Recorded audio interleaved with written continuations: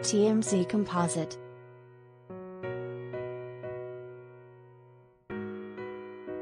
Bam Margera's struggles with substance abuse put himself and anyone around him in harm's way, at least according to the Jackass franchise director.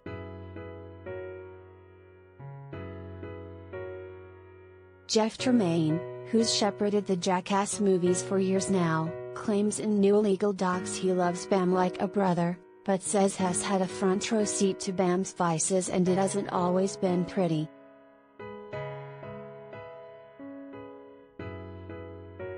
According to the docs, obtained by TMZ, Jeff says whenever Bam's intoxicated has a danger to himself and others, and he claims Bam's recent behavior has brought a dark cloud over the movie franchise.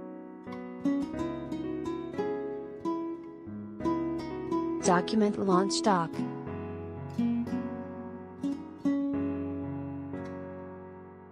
Read the contract launch doc document.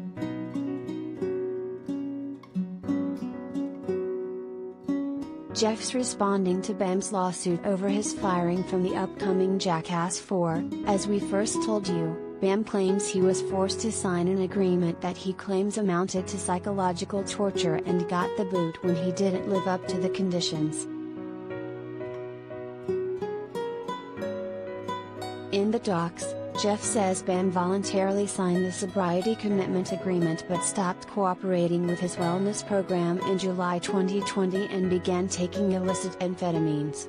Tremaine claims the Jackass fam tried to find a way for Bam to be in the movie, but Bam's wellness coach shut them down, and Paramount Pictures ultimately dropped the axe.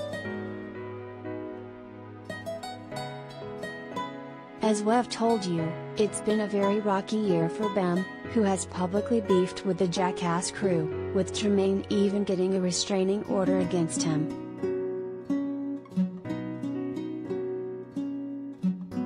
TMZ.com